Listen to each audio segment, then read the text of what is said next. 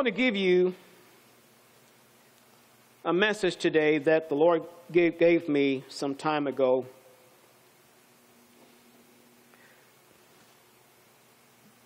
And the Lord knows when people need certain messages. And I don't know who may need this today. If you're watching by internet, by mygladtidings.org, or if you are streaming this message today, I want to give you this message today. It is a dear message that I hope that it will encourage each and every one of you today. Even if you're in the house or if you're watching, I want you to be encouraged by this message. Help for discouragement in our life and times. Help for discouragement in our life and times. We're going to be in Hebrews 12, verses 1 through 3. And listen to these verses as I preach this message for help for discouragement in, li- in our life and times. And I want you to take this home with you.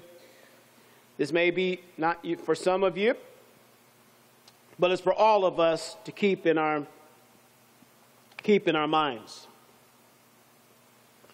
Hebrews 12, 1 through 3, it says, Therefore, we also, since we are surrounded by such a great crowd of witnesses, let us lay aside every weight and the sin which so easily ensnares us. And let us run with endurance the race that is set before us. Looking unto Jesus, the author and finisher of our faith for who, for, for the joy that was set before him, endured the cross, despising the shame, and has sat down at the right hand of the throne of God. For consider him who endured such hostility from sinners against himself, lest you become weary and discouraged in your souls. Father, we thank you, love you, and praise you, and give you honor and praise and glory for your blessings. Thank you for this Memorial Day that you blessed us to be here with, Lord, and we honor you and glorify you because of what you've done for us. We praise you, Jesus, that those who have left us are with you in glory. And we thank you for this day that you've given us. Father, I don't preach in my own strength, but I preach in yours. And on this day, someone may be discouraged, Lord, but Father, I know you can touch and bless each one. Whether they're listening on streaming or whether they're on mygladtidings.org, I pray that you will encourage each hearer in your precious name. And we thank you, Father, and give you praise, honor, and glory. Again, Lord, I don't preach in my own strength, but I preach in yours. We give you thanks and praise. Amen. Let me read those verses again for you. I'm going to go back over them sometime during the message. It said, Therefore, we also, since we are surrounded by such great cloud of witnesses, lay us, let us lay aside every weight and the sin which so easily ensnares us, and let us run with endurance the race that is set before us. Looking unto Jesus, the author and finisher of our faith, who for the joy that was set before him endured the cross, despising the shame, and has sat down at the right hand of the throne of God. For consider him who endured much such hostility from sinners against himself, lest you become weary and discouraged in your souls. Discouragement is something that we all live with from time to time. And it's easy for us to allow the pressures and burdens of life to overwhelm us and cause us to be in despair sometimes. You know, discouragement is a killer.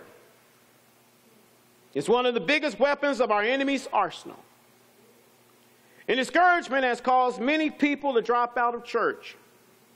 It's caused them to quit on God. It's caused people to take their own lives because they are discouraged about life. It has caused many preachers to give up the fight and lay down their Bibles. Listen to what John Calvin said about his life, great preacher. He says, In addition to the immense troubles by which I so thoroughly consume, there's almost no day on which some new pain or, anxiety does not come. Charles Spurgeon had this to say about his own battles with discouragement. He said, Discouragement creeps over my heart and makes me go with heaviness to my work. It is dreadfully weakening. It is that way with many God's precious people, servants and saints this morning. And, and, and, some of you who may be watching or watching today and listening to this sermon today, or hopefully none in this very room, are discouraged in your walk with the Lord. You're thinking about throwing in the towel. You're considering dropping out on the Lord. But you know what? Before you do, I, I, I would like to remind you that God did not save you so that you could live your life in a state of discouragement.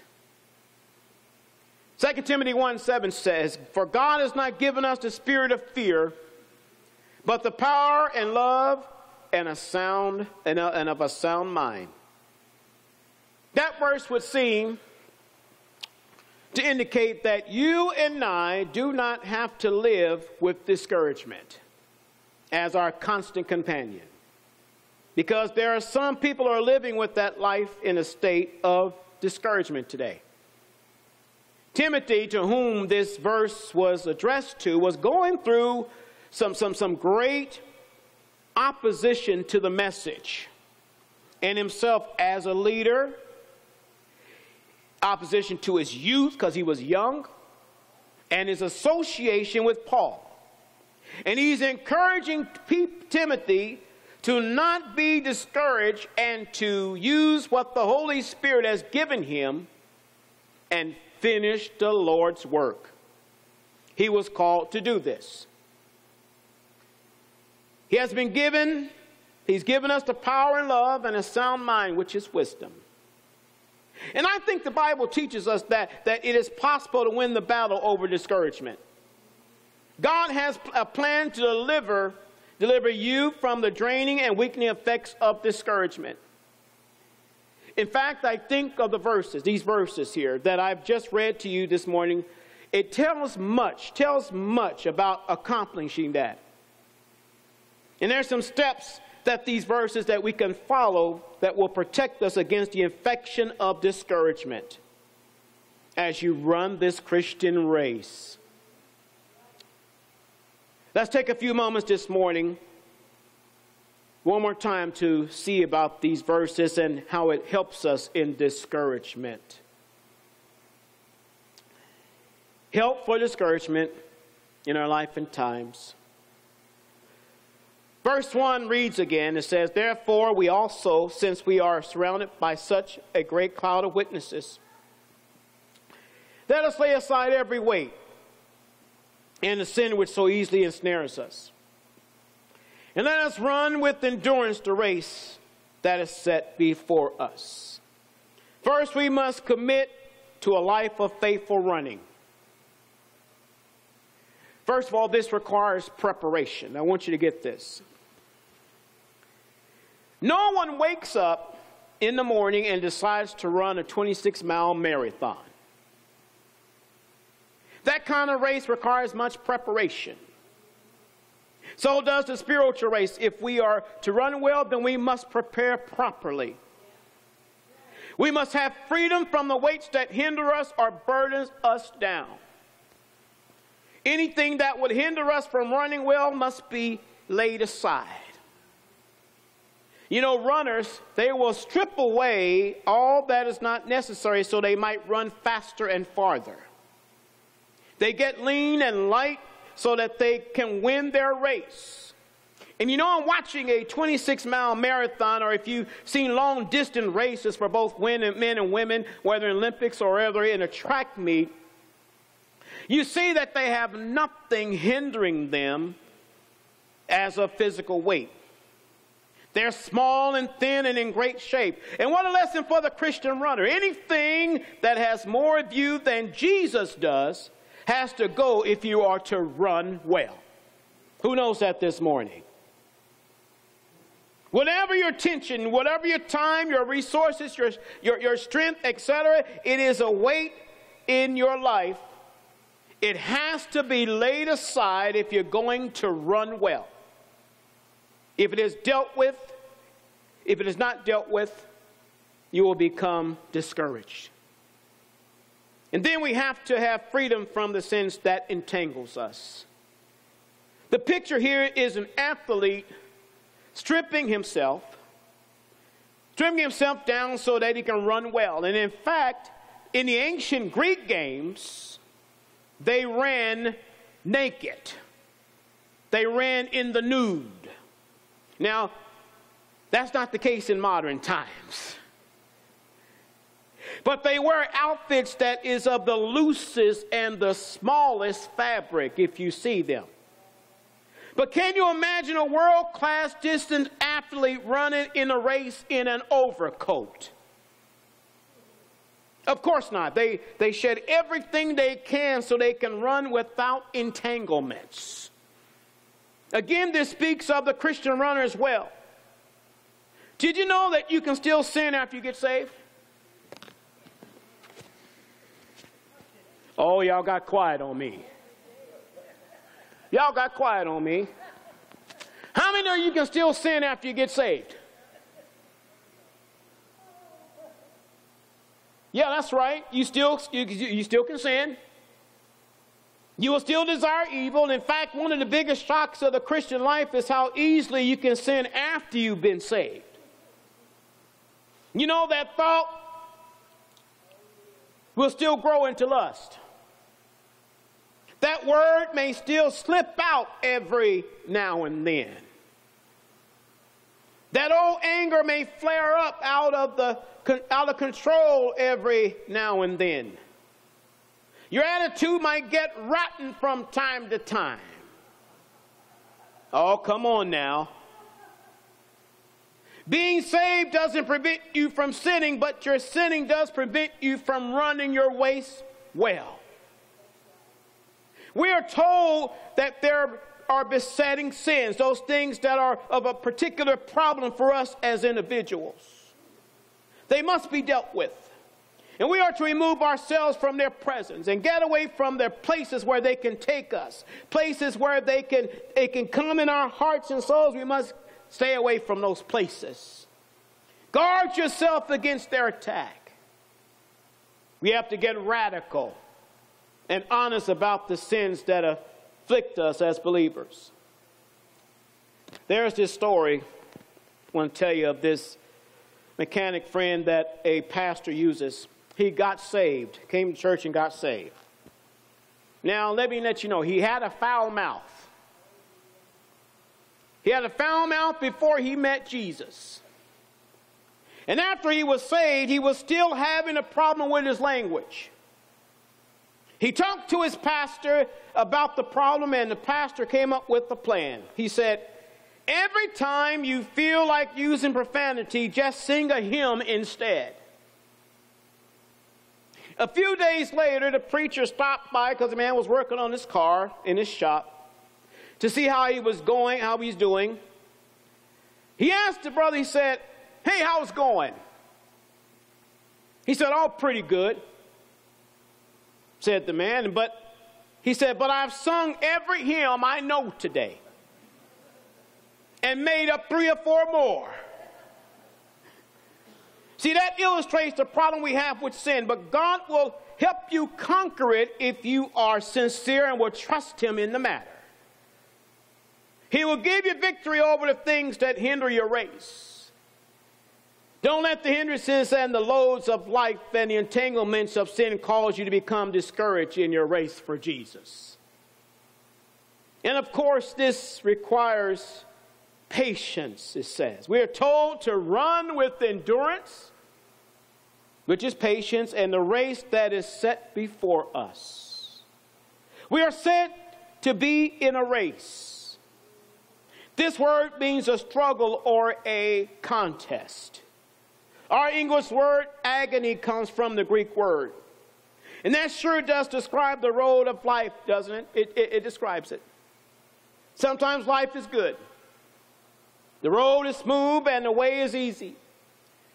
But there are other times when it feels like you're running blindfolded. You're running uphill through a minefield. Has anyone ever felt that way before in your lifetime? Yeah? It seems there are times when life is a struggle, it's an agony, and it's a living misery sometimes. Those are the times that call for endurance and patience. And of course, God never said it, it would be easy. And in truth, He said just the opposite. John 6, 16 and 33 says, These things I've spoken to you, that in me you may have peace. In the world we will have tribulation, but be of good cheer. I have overcome the world. Job 14 and 1 tells us, Man who is born of a woman is a few days and full of trouble. Now, the word patience, let me talk about this word patience for a moment. It means endurance, it means settling in for the long haul. It carries the ideal of, of, of, of commitment in the race in spite of the obstacles or the difficulties. We're not running a short dash, folks. We are running a marathon. And don't be like a Roman candle, Roman candles like we used to do, and some of you still do on the 4th of July. Don't be like a Roman candle, a little pop, a little flash, a little burst of excitement, and then nothing. Just be steady. If you're a prayer warrior, a witness, a church member, just be steady. Run your race and settle in for the long haul. Make up your mind to be committed to the race. Make up your mind to be committed to this race, folks. Make up your mind that nothing will prevent you from running a good, patient race for the glory of God. Let me read verses 2 and 3 again. Praise God. It says, Looking unto Jesus, the author and finisher of our faith, who for the joy that was set before him endured the cross, despising the shame, and has sat down at the right hand of the throne of God. For consider him who endured such hostility from sinners against himself, lest you become weary and discouraged in your souls. As we run this race, we are to keep ourselves focused. We are to concentrate on things that will prevent us from becoming discouraged as we run this race. And the writer tells us what those things are. First of all, we are to be focused on the per- person of Jesus. Paul says, looking unto Jesus. That's how the Christian life began. It began with the look. Looking got us into the race and keeping our eyes on Him that who helps us to do well as we run this race. And notice in the phrase in verse 1, it says, the race that is set before us. This seems to me to indicate that we each run our own race. I can't run your race. You can't run my race. Now, if I spend my time looking at you and how well you're doing, I'm liable to become discouraged in my own race. I might become defeated because I'm not doing as well as you are. Then I might try to run in your lane. Or I might stumble over pride if I begin to speak, if I begin to think that I'm doing better than you. Or I might even get discouraged if I think that the way you're running has affected my own race. And I allow my failures and my stumbles to hinder me. In other words, keep this. If I keep my eyes on you and how you're running, I am in trouble. The only way for any of us can run well is for us to keep our eyes focused on the Savior. To keep our eyes focused on Jesus. He's the only one we have to run for. He's the only one that we need to please. Listen, He's the race judge. He's the author and the finisher of the race of life. He gives out the rewards. He disqualifies the runners. He calls the race, and he is the one. The only one to watch as the race progresses. Get your eyes off of the other racers and how they're doing. And we need to get our eyes on Jesus alone and run a better race. And we also we need to stay focused on the performance of Jesus. Listen, not only, thank you, Lord, not only should we keep our eyes on the Lord Jesus as we run, but also on his performance. Why? Because he finished our race for us. As we run this race of life, let us take courage in the fact that Jesus Christ has already passed this way. He ran the race ahead of us and he has completed his race. In so doing, he also completed ours as well. Hallelujah. Someone say hallelujah. That means that we run and face the pressures of life, that when we do that, we have Him to help us along the way. Hebrews 4 15 and 16 says, For we do not have a high priest who cannot sympathize with our weaknesses, but was in all points tempted as we are, yet without sin. Let us therefore come boldly to the throne of grace, that we may obtain mercy and find grace to help in time of need. He knew his share of trials in the race of life, but he successfully navigated his course.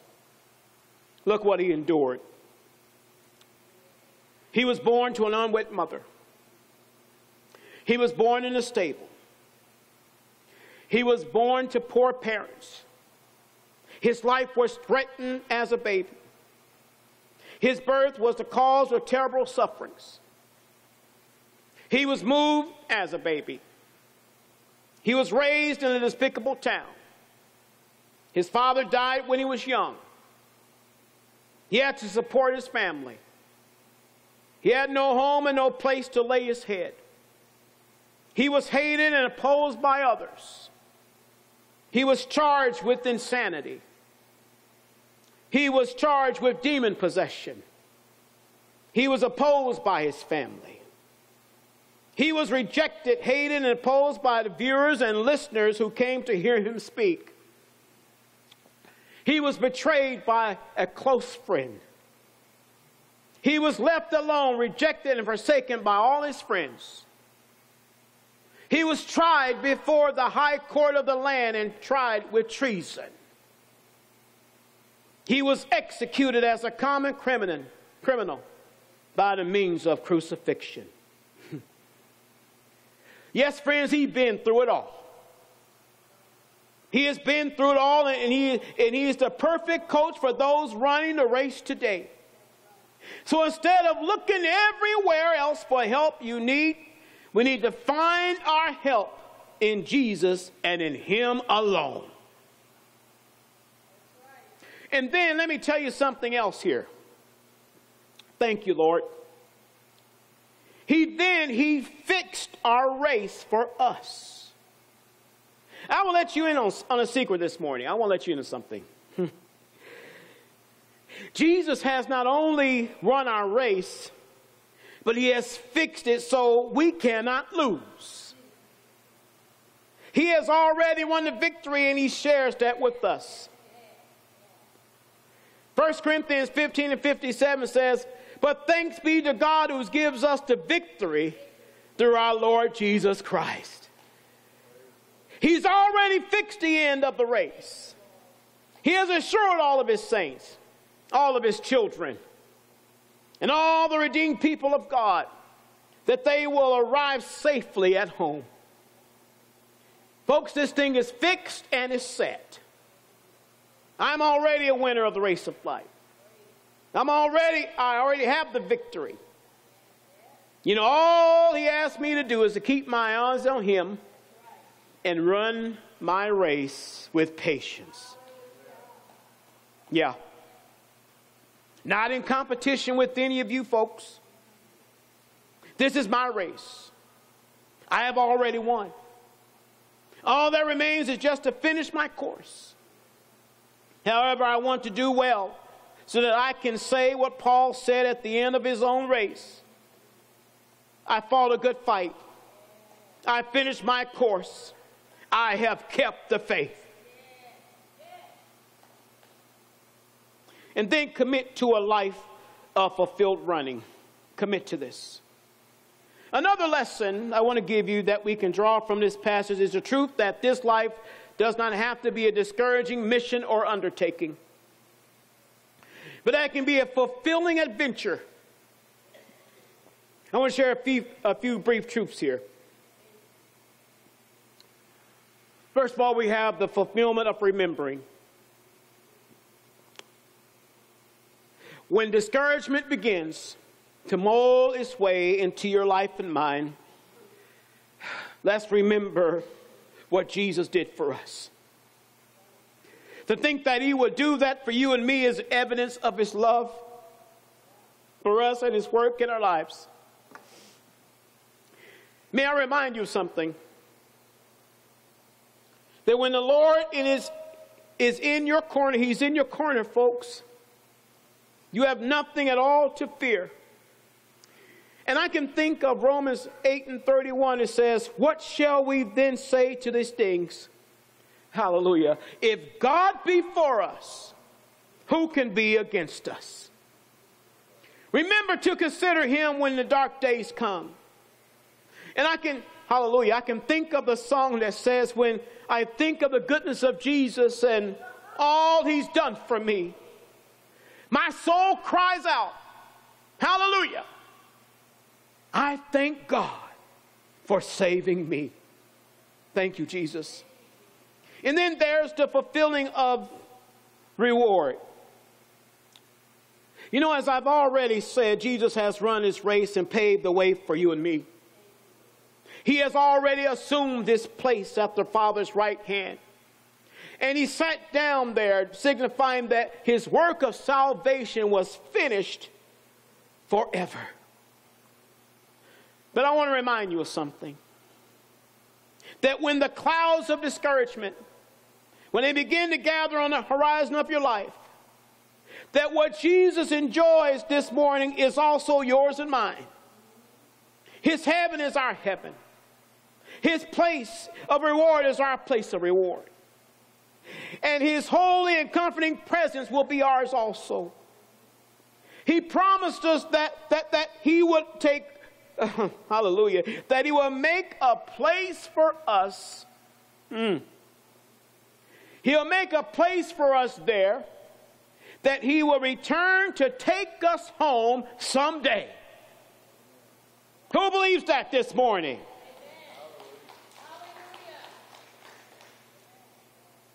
Because John 14, 1 through 3, he tells us that he's going to prepare a place for us and I'm wholeheartedly believing that promise for a new home someday. How about you today? You know what? That's enough sunshine for the cloudiest of days. Therefore, instead of being discouraged as you run your race, always remember it is not in vain. There's fulfillment in knowing that God is keeping records one day. He will reward those who have run the race faithfully. Paul said, and this has been one of my, this been one, this been with me since my mother passed, went to heaven. I can't stop thinking about it. 2 Timothy 4, 7 and 8, I fought the good fight. I finished the race. I kept the faith. Finally, there's laid up for me the crown of righteousness, which the Lord, the righteous judge, will give me on that day. And not to me only, but also to all who have loved his appearing. And then there is fulfillment, the fulfillment of resting. Even as we run the race, there are times when our steps will grow heavy and our pace will slow down. We get a little tired and drained here. We will. However, let us remember that we are not home yet. There's a rest for the people of the Lord. There will come a day when we can unharness the burdens from our shoulders and sit at his feet of our sovereign Lord in heaven's glory. There will come a day when he will wipe away the tears of sorrow and exhaustion from our eyes.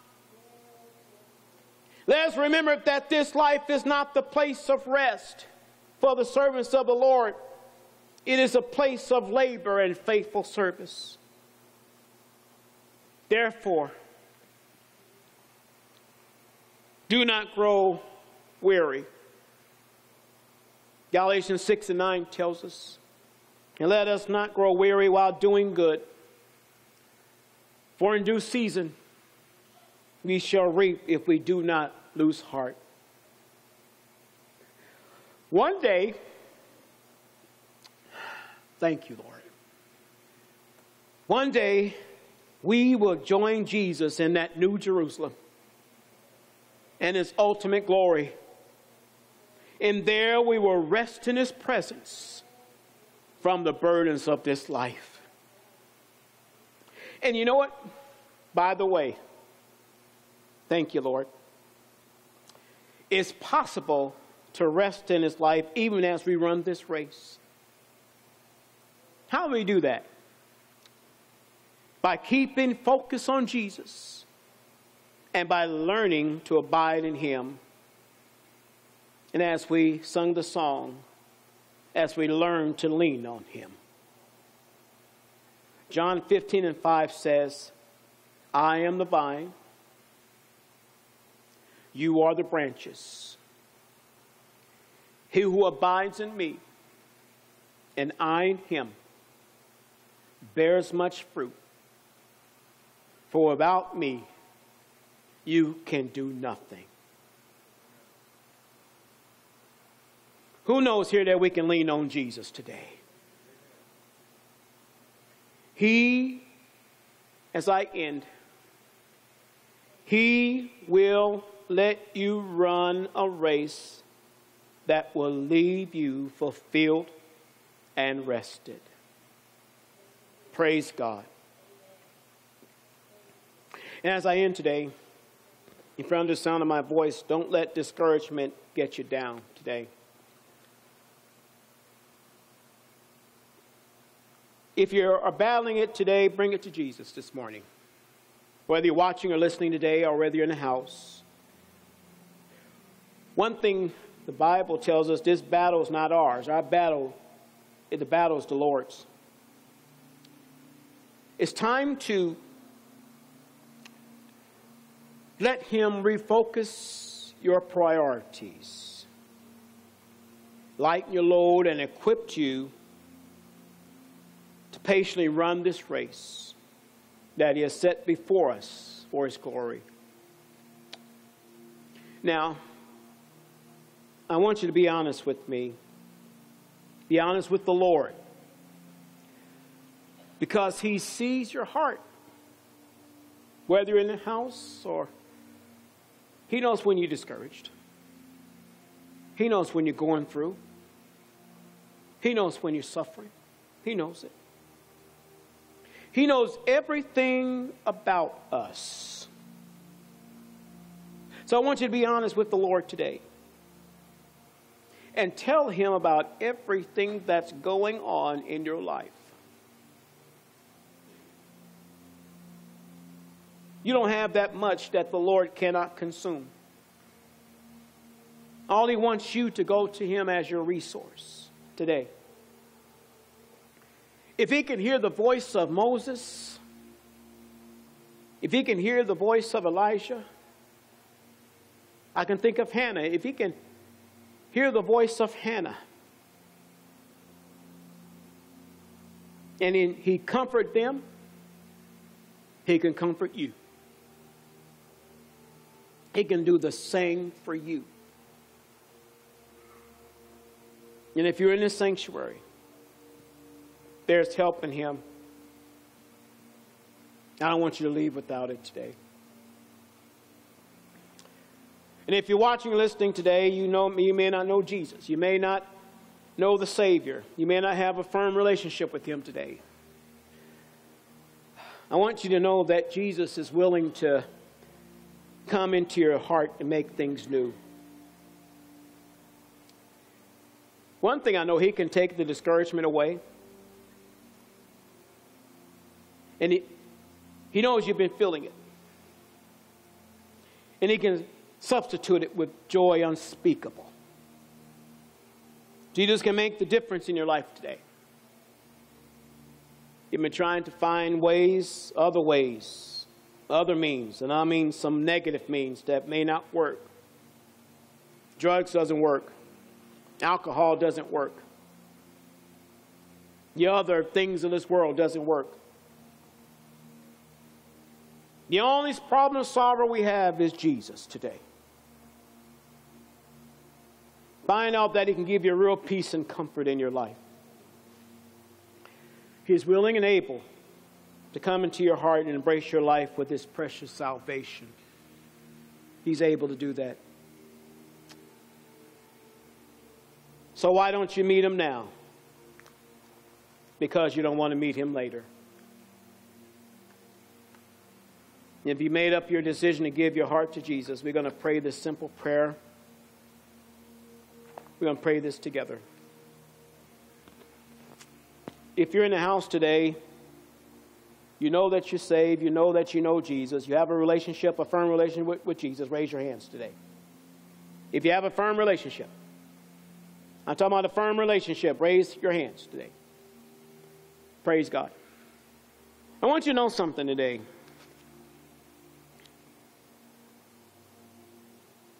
And if you're watching and listening today, we cannot live this life without Jesus and his decisions that we make in his life should be a decision that he helps us make. I just feel this. Someone may be watching today who may be ready to take their life right now. You may be ready to take something to take you out of this world. No gun can help that. No drug or pills can help that. I ask you today that you will give Jesus a chance and let Him make your life peaceful and give you hope for the future. And if you're watching today or you're in the house, if you need Jesus, let's pray. Everyone in this house, bow your heads and say this prayer with me. Dear Heavenly Father, I thank you for this time in my life that you've given me. I know, Lord, my heart is before you. You see my heart. And I ask you, Father, I ask you, Father, to save my soul. I need you in my life. I need you in my heart. I need you in my mind and my soul. I can't do this by myself. I need your help. Please help me, Lord. Come into my life. Save my soul. Give me a new hope. I want to see you in heaven, Lord. And I can't do this without you in my life. I need you, Father. Please forgive me of my sins and my shame. Give me a new lease on life. Help me to do the right things. Give me peace and take away this discouragement I feel. I know, Lord, that you're able. And I know, Lord, with you in my life, I will have peace, I'll have comfort, and I'll have your love. And I thank you. I believe you died on the cross and you rose on the third day for victory. And I thank you. Now, Lord, I believe you've forgiven me of my sins. I know now that I'm your child, and I will live for you forever. Without a shadow of a doubt, I know, I know that I'm saved, and I believe I'm saved. Help me to find a Bible believing church and read your word. I give you thanks and praise. Amen. Amen. Give God a hand praise today, folks. Hallelujah.